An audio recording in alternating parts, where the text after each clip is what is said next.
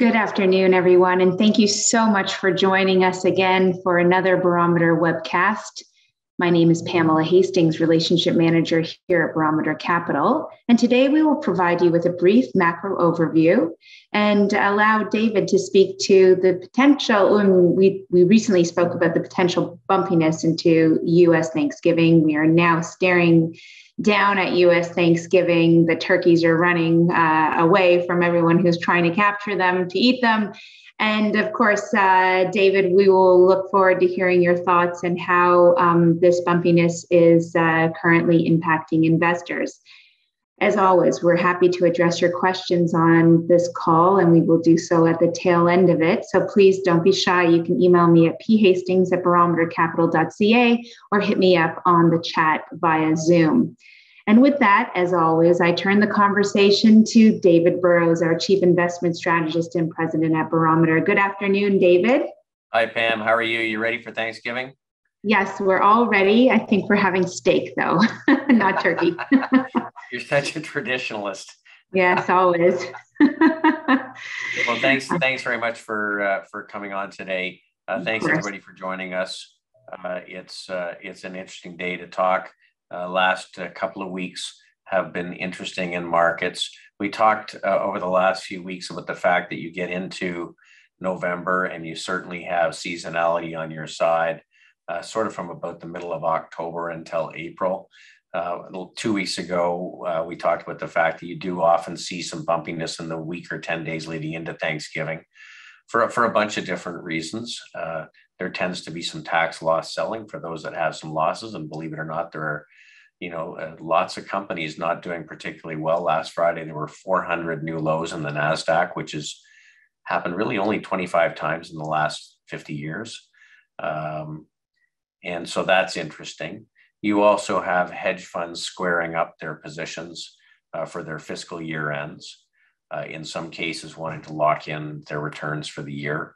So there's some selling that comes out of that. And then there's just generally people who are away leading into the holiday. So the the uh, the liquidity is not quite as good. So we're going to talk a little bit about that today and and how it may be impacting us, what what maybe we've been doing over the last couple of weeks, and how we're positioned uh, against what kind of what's going on. So just just quickly, uh, we always start with the macro, and our baseline view is that we're in a structural bull market in equities globally. Uh, U.S. was the first bull market starting in 2013, taking out the highs from 2000. Uh, and since then, it's been kind of four steps forward, one step back. Certainly, there have been corrections along the way, uh, but uh, we're we're into it now for about eight years, and they they can be you know 15 16 19 years long they can go on for a long time so we don't want to get too wound up with the fact the market's been making new highs because in a structural bull market you continue to make new all-time highs all the way through the piece. We've also had a view that we were going through a bottoming process in global yields, uh, much like we did back in the late 1940s, early 1950s, moving from a disinflationary world to a reflationary world. And part of that will include bouts of inflation, but inflation in asset prices, making it important to own assets, productive assets that have an ability to raise price which means that maybe some of the things that do well in a reflationary world are different than things that do well in a disinflationary world. Uh, so we're going to talk a little bit more about that this week. We've also had a view that we were going through uh, a secular or structural bottom in the commodities markets uh, and the disinflationary impact of falling commodity prices might move into a more inflationary impact uh, going forward. This was a chart that was uh, back from the end of 2020.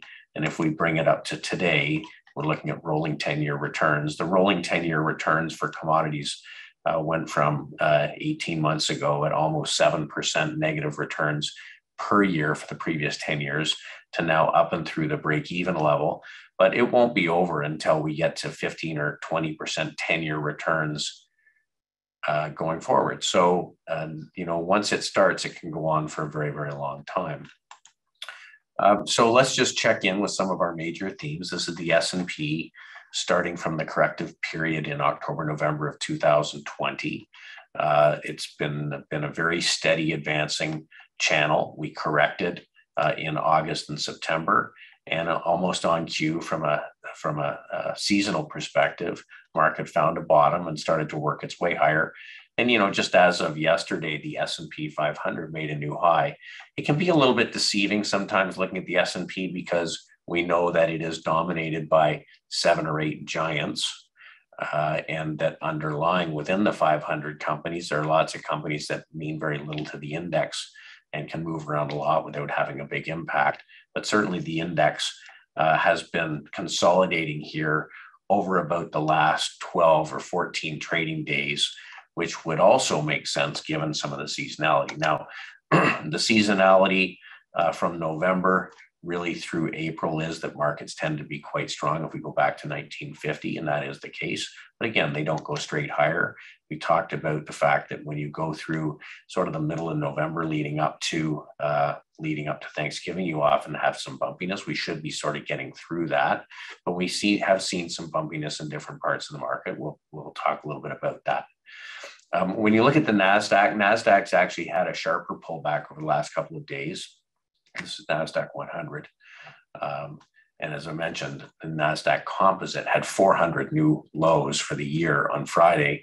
So certainly lots of stocks selling off within them, but there's some strong stocks and some weak ones. And we don't have to be everywhere. Our job is to target strength. Uh, and I think in general, our positions have been hanging in pretty well. We'll talk about that.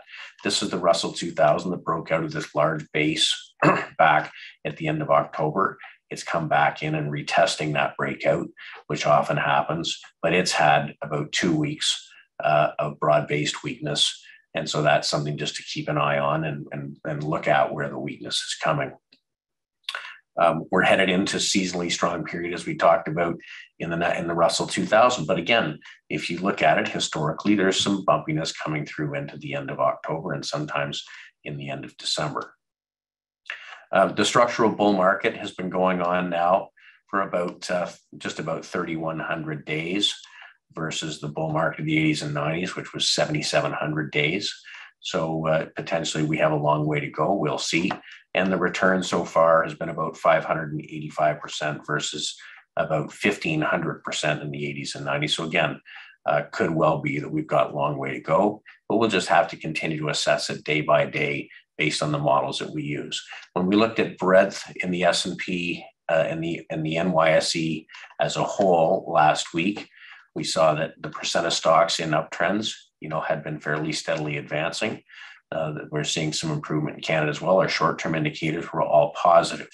When we look at our same indicators today, the long-term indicator continues to be solid. The long-term indicator for Canada continues to be solid, but we have seen a pullback in the percent of stocks trading above their 50-day moving average. We've seen a pullback in the percent of stocks with positive weekly price momentum or upward trajectory. We've seen a pullback in the number of stocks making new highs versus new lows. And we've seen a pullback in the percent of stocks trading above their long term moving average, 150 day moving average. So these four short term indicators tell us to be a little bit more cautious and really to scrutinize the holdings that we have. Now, things don't all move together, and that's the reason we track breadth. Generally, the weakest securities sell off first. And then if weakness persists, it will come back and get the stronger securities. So we track each one of our positions daily, each one of the sectors that we follow daily to make sure that the leadership groups we're focused in and the leaders within those leadership groups continue to behave the way that they should, given what we think we know. If they don't, we use our stop losses to exit or reduce our exposure. When our indicators are weakening, we don't tend to put on any new positions. And if our stop losses get hit, the cash position builds. So we're always interested to watch these indicators because it gives us a sense or whether money's getting put to work, whether money's being taken out of the market. So let's go back and check our leadership teams. As you know, we're not trying to be everywhere. We're trying to focus on those key areas of the market that have some structural tailwind. And we've been in all kinds of big structural themes over the last 18 months. And if we continue to be in a bull market, leadership tends to persist. Along the way, late stages, maybe weakling groups start to perform a little better that doesn't mean they are taking over new leadership, they're just being additive. So we're always watching for new leadership to emerge, and we're and we're always prepared to go to the sidelines if our group's themes start to fail. So this is an empirical process. It's not about an opinion as to what should happen. It's about measuring what is happening and having a tactical process to make changes in the portfolio when they're required. Okay, so let's look at what is happening. From a fixed income perspective, and we've been talking about the fact that we thought the fixed income markets were under some pressure of rising rates. You can see very clearly this is the IEF, it's an ETF of seven to 10 year US Treasury bonds. They sold off sharply into the spring of 2021. They bounced and consolidated. They were unable to make higher highs and failed. And here we are today, trading basically back at lows. So the market is assessing that that for that the future interest rates are going to be higher. And there is some money leaving the bond market with the view that perhaps driven this week by the fact that uh, we had a, a, reaffirmation, a reaffirmation of Fed chair uh, and that uh, uh, Brainard was not made the chair of the Fed. Um, that in fact, um, uh, things may be a little bit more hawkish going forward. And so bond market reacted. Now that's the US Treasury market. It's the broadest, deepest bond market in the world, but it has not been held only to the US bond market. We also saw weakness in other in other bond markets. So, for instance, uh, this is uh, the shorter to intermediate term US Treasuries, okay, actually made a lower low. When we look at um, the emerging market debt, emerging market debt really making a lower low. So this has really been quite a waterfall since the beginning of the year. Very significant decline. Uh, we also have had some weakness uh, in uh, global treasury debt. Okay, some difficulties. So this is uh, international treasury bonds. So this is sovereign debt of other world uh, uh, centers. So bonds globally have continued to weaken. Now, we've talked a lot about inflation and the risk of inflation. We've also talked about the fact that bond yields can go higher when there's an expectation there could be higher growth going forward. And we don't always know what's driving things, but we try and understand it. So when I look now at groups that should act like bonds, the IYZ is the ETF of telecommunications. So a bond is a long duration asset. Uh, it uh, yields um, as they go higher are reflecting what people think longer term. If you own a company that is consistent but unable to raise price and bond yields go higher, then share prices go lower. And so telecommunication stocks have been particularly weak.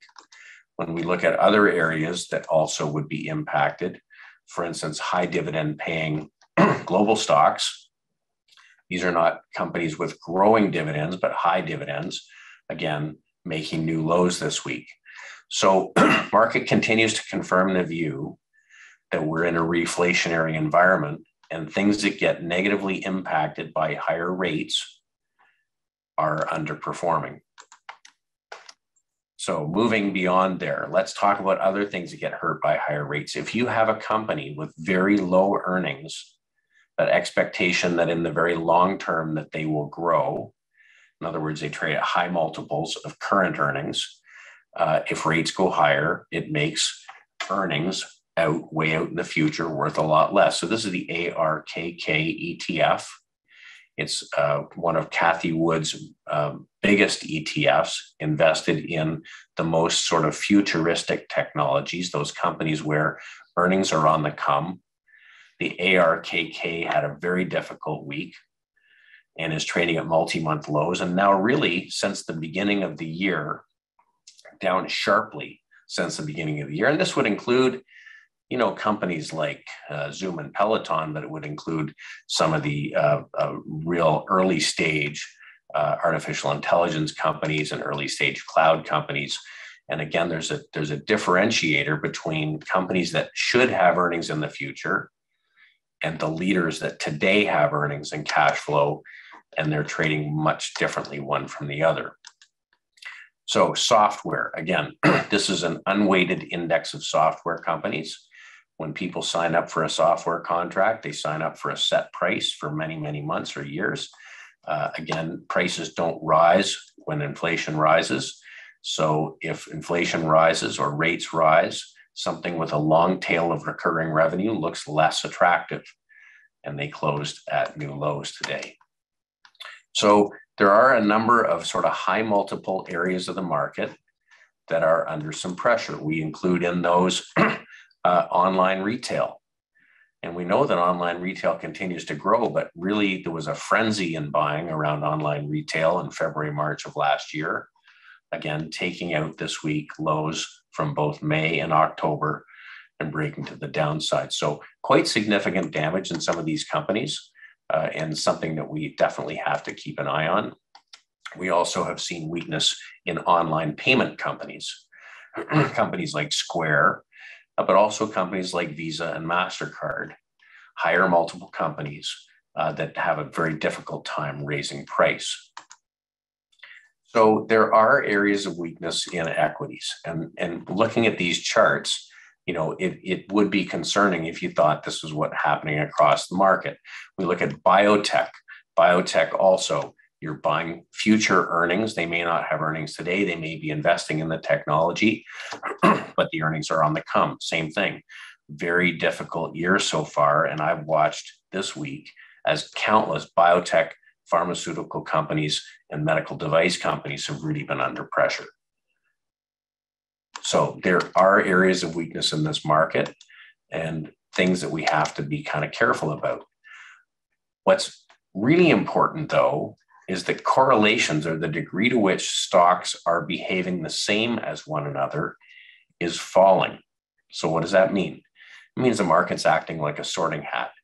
Given all of the major influences on the market today, some companies will be impacted more than others. And what we're seeing is the market is sorting the good from the bad. When correlations go up, as they did in January, February 2020, it means there's some macro event that's impacting everything that's not healthy.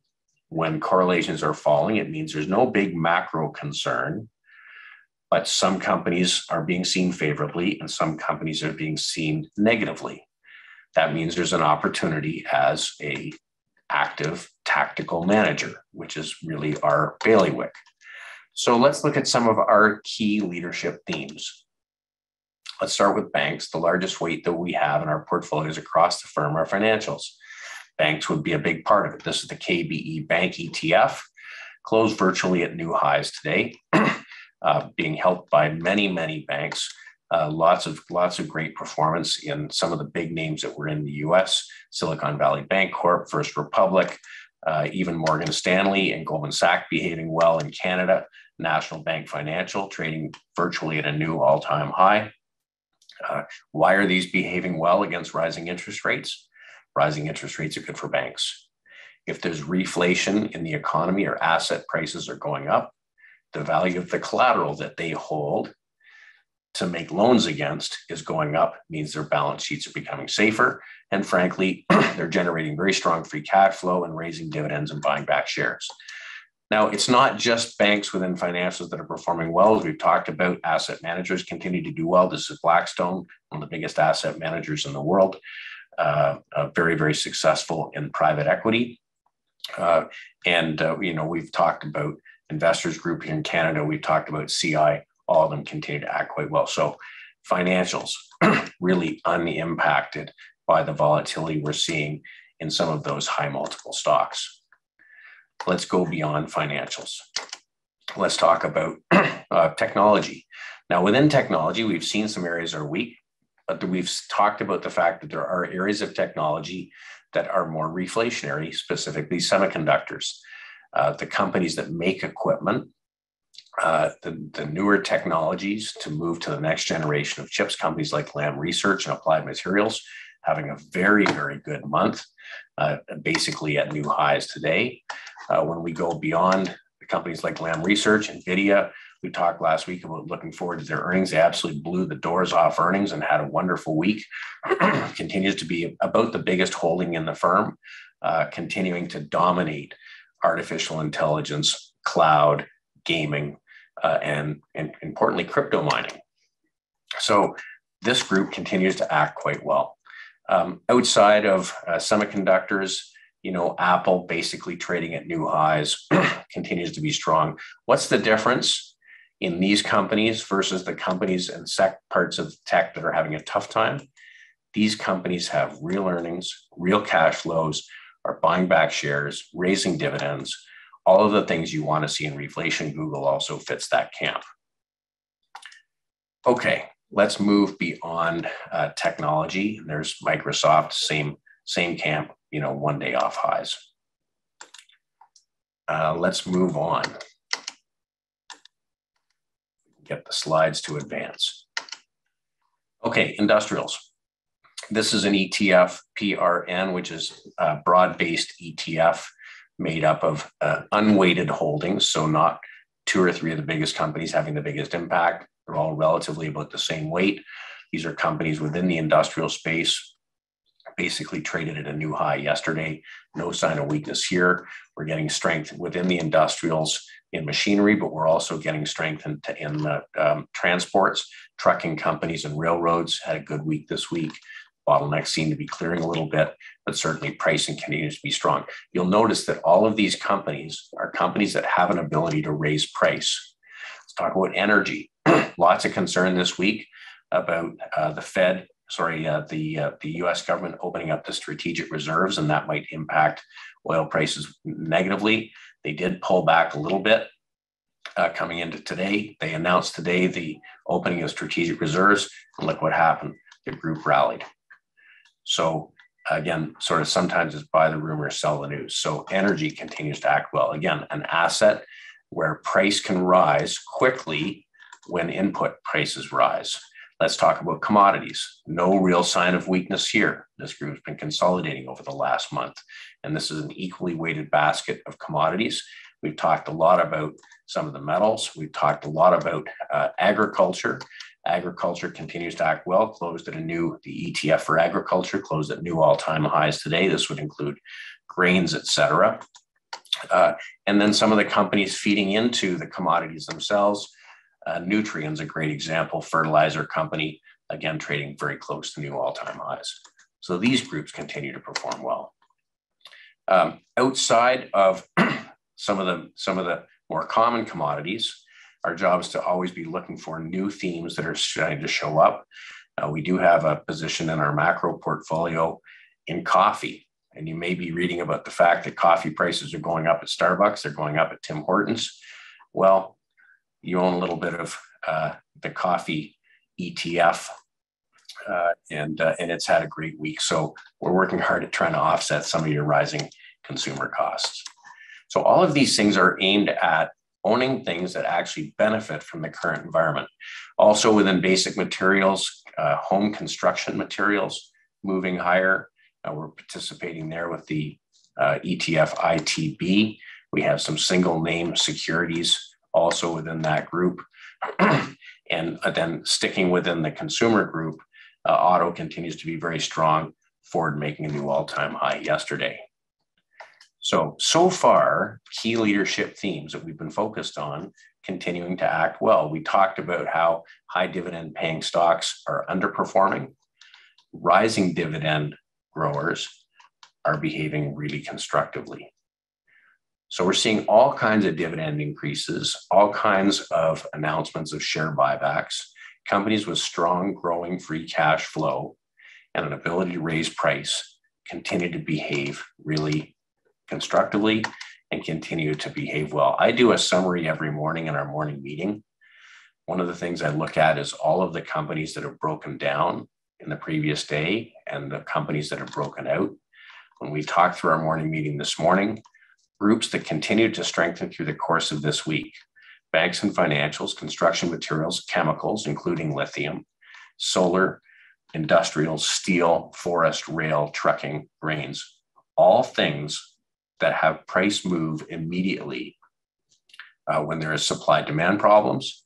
And on the other side, groups that have been accelerating to the downside pharmaceuticals, biotech, medical equipment, healthcare, fintech and payments, internet, software, some of the high multiple tech with inability to raise price, travel and leisure, restaurants and gaming, some areas of consumer which arguably would be impacted by a new wave of COVID, communications, high dividend, bonds, emerging market debt, and emerging market equities. So it's a real split market. And the, the, the, important thing is to make sure that we're focused in areas of strength. Now, we continue to see increased discussion of inflation. That's not going away. We need to make sure that our securities are behaving the way that they should be, given what we think we know. It appears that they are. So when we look at positioning, here's what's happening in our portfolios. We continue to have our largest weight in financials. It increased this week from 28% to 31%. That's about three times the S&P weight. Technology came down a little bit more this week in our portfolios, 19%. We're underweight technology, but our areas of technology performing well. Our energy weight was down a snick over the course uh, of the last month but still about three times the weight of the S&P. Industrials continue to creep a little higher, highly economically sensitive, many of them able to raise price. Materials weightings continue to rise slowly. We have a little bit more in short-term government debt, a little bit of little bit of cash, uh, and then you can see our weightings in healthcare are next to nothing. Consumer discretionary quite low, uh, communication services very low, and utilities very low, consumer staples very low. So the portfolios as we sit today are reflationary portfolios, portfolios for the current environment. We have tailwinds, I think, in all of our various groups. Outside of the equity portfolios and income portfolios and our macro portfolio, we continue to have a weighting in crypt, uh, cryptocurrencies. Uh, Bitcoin as a currency surrogate for, for paper currency you know, 60 years ago, currencies were backed by hard assets. Over the last 60 years, people have had comfort in currencies that were just plain backed by the full faith in the government. All central banks are printing money. I think lots of people have started to look at cryptocurrency, Bitcoin in particular, as uh, something that can't be printed. There will only ever be 21 million Bitcoin. And when there was no alternative to paper currency, um, it was should we own US dollars or Canadian dollars or euros or Aussie dollars or Japanese yen? Investors today have a choice of paper currency or an alternative, Bitcoin. And Bitcoin has performed really, really well over the course of the year. It's had a small pullback over the last week. Ether, same way, very small pullback over the course of the week, but against uh, some tougher markets, certainly continuing to act really, really constructively. So we are into the strongest period of the year. We're just about at Thanksgiving, should be through the typical bumpiness into Thanksgiving. And we're going to continue to assess things daily. But the net of it is this if we look at the free cash flow yields that equities are generating, Okay, so the free cash flow margin on the S&P X technology is sitting here just above 8%. When we look at the, the free cash flow yield itself, not the margin, it's sitting at around 4%, X technology just around 5%. So you have a choice as an investor what type of asset to hold. You can own a bond that yields somewhere between one and one and one and 1.6 percent, or you can own an equity that yields five. There's a reason why companies are buying back their shares. You're getting compensated well to take risk. If we go back to a time when equities were really expensive in 2000, the free cash flow yield on stocks was about 2%, and bond yields were about 3%. So stocks were expensive. That was the end of a bull market. Today, with a free cash flow yield of close to five against a bond yield on a 10 year of 1.6%, you're getting close to three times or a little bit more than three times the return for holding equities. And that's not lost on corporations. Corporations have announced record share buybacks. Why would they put the money into bonds when they could buy back shares that are yielding them three times as much? That's great for us as shareholders because the share count falls. Not only are they buying back shares, but they're paying out record dividends. So we think this can go on for a long time. Now, if you go back from 1996 to 2020, this is the seasonal pattern for flows into equity mutual funds. January generally sees more flows than all of the other months combined, and February comes right in behind. So we're sitting here coming into December when there tends to be year end flows uh, in November into equities. We're in a seasonally strong period. And this is taking all years back to 1996. But this year in particular, we're seeing very high share buybacks, very large number of dividend increases. There's probably more incentive for money to flow into equities than there have been in other years. Fixed income's been a negative returning asset over the course of the year. There certainly have to be some investors who are reconsidering their asset allocation and in the beginning of the new year may choose to increase their equity weight and decrease their fixed income weight, given that it hasn't been working. So we think there's lots of reason to continue to own equities. We think that markets do look uh, attractive. Our key themes continue to work. And certainly, if things were to get difficult, we'll take money and put it on the sidelines. but there's been a almost $2 trillion went into bonds this year, and they've given a negative return. There's about a trillion dollars went into, into equities, but since 2019, with the dip and then the recovery, only about 445 billion there's room for this gap to close. Now, if things get difficult, we'll be happy to get defensive. We've shown in the past we're always willing to do that. Uh, but at this point, I think that things continue to look pretty good. And uh, so we're steady as she goes. So, with that, Pam, if there's any questions, certainly happy to answer them. Thanks so much, Dave. Yes, we have a question here wondering what your favorite industrial stock is. Very difficult to say which favorite company. Um, I'll say that there are um, there are positions across industrials that look interesting. So I think that you have to keep an eye on the heavy equipment. So you have to keep an eye on a caterpillar and a Deere. Uh, you have to keep an eye on some of the transports, and certainly the rails in Canada look attractive. Um, when we look at uh, some of the um, some of the large diversified industrials. Uh, companies like uh, uh, Textron and Honeywell look interesting.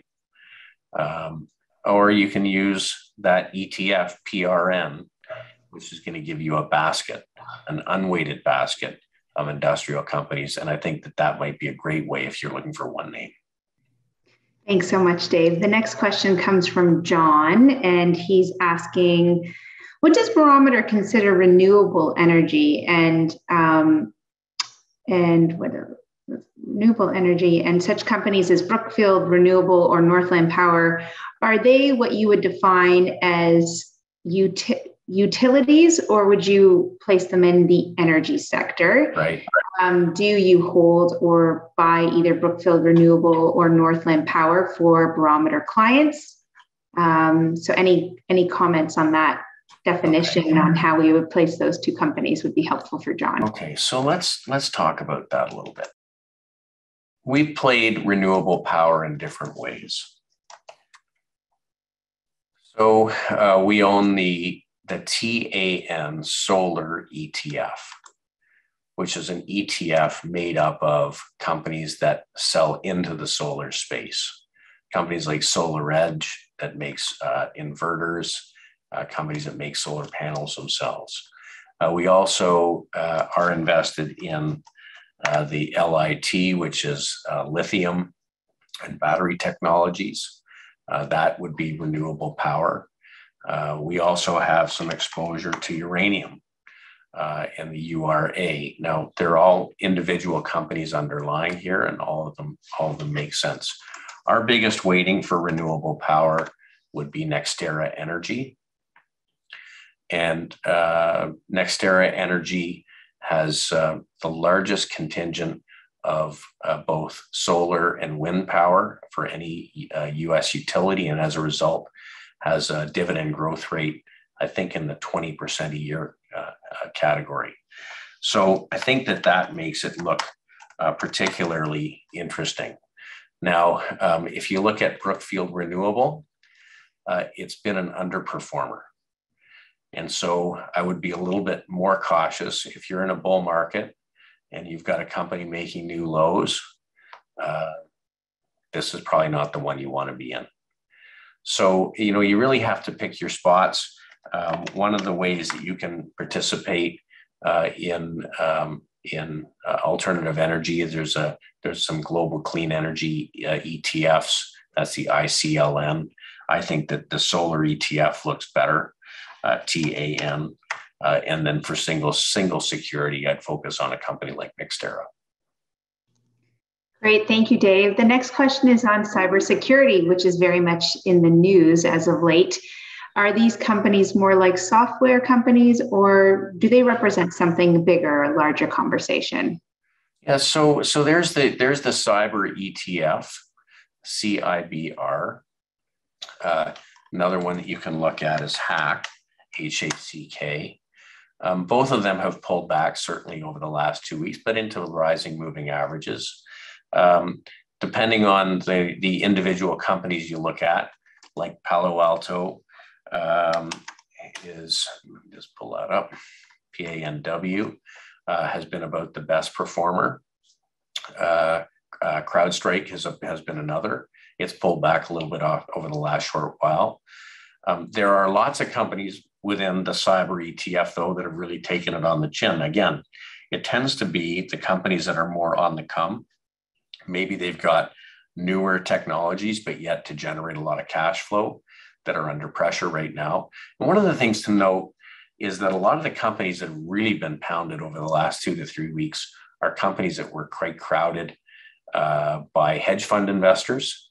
Uh, and some of them maybe have decided to take some profit and and uh, and there there haven't been investors to step in behind them. So again, you you have to pick your spots. The reason we like to own the leading company in the group is because it's not the first one to break down. It'll be the laggards or the ones with technology on the come that get hurt first when people lose some confidence. And, and that would tell us, for instance, in cybersecurity right now, we wouldn't add new exposure currently, even though our companies are doing quite, quite well um, we would wait to see breadth start to improve in the group before we started adding again. And you can see as a result, our technology weight has slowly been coming down as the percent of stocks within the technology sector performing well has been deteriorating a little bit. Thank you, David. The final question for this afternoon is your view on the Canadian, do- Canadian dollar to US dollar exchange rate over the next um, one to five years. Love your fee- feedback on that and your perspective. Okay, so certainly um, Canadian dollar has been consolidating in the very short run. Uh, this is a five year chart. Let's look at a much longer chart. Okay, so CAD was very weak during the commodity bear market this would look a lot like the commodity ETF. Commodity ETF and the energy ETFs made turns last spring, like just as an example. If I were to pull it up, hold on. Oil, you know, oil was weak into the late part of last year. If I was to pull up the uh, energy producers ETF, you know, very similar sloppy period, right? And, and then over the last short while, we've seen some consolidation in energy. Uh, and we've seen some consolidation in the Canadian dollar. I think one year and five years from now, Canadian dollar is going to be higher. Um, our view is that we've been going through a turn in commodity markets, and the Canadian dollar is tightly tied to commodity prices.